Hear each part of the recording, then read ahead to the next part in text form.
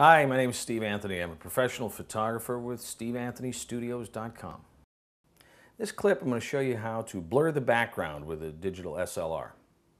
Now blurring the background is uh, basically a function of depth of field and what that basically means is the, the distance in your frame of the subject that's in focus.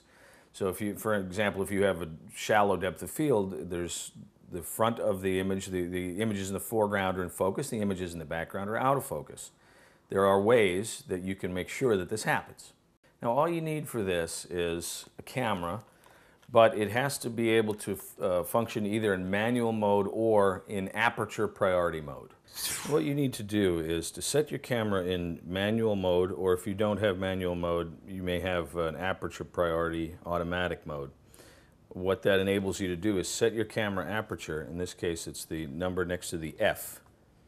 And as you can see, it's right now it's set at 1.8. You can set it to whatever f-stop is necessary. But the smaller the f-stop, or excuse me, the, the smaller the number, which equals the larger f-stop, I know that's confusing, but basically think of it in these terms. The lower the number you have for an f-stop, the more likely you are to blur the background.